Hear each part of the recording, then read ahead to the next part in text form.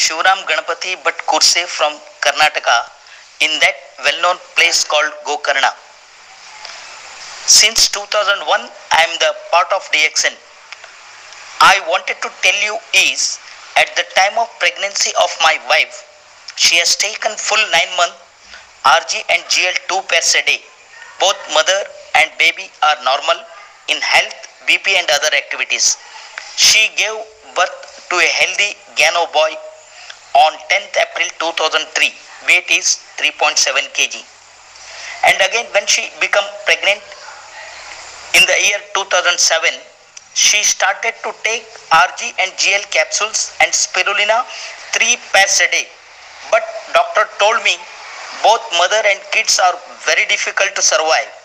After six months and 27 days, she gave birth to a triplets, Madhukar, Pushkar and Vaibhavi.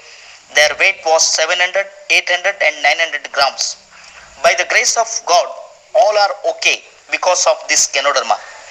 I am 100% confident that DXN products are God's gift to all peoples.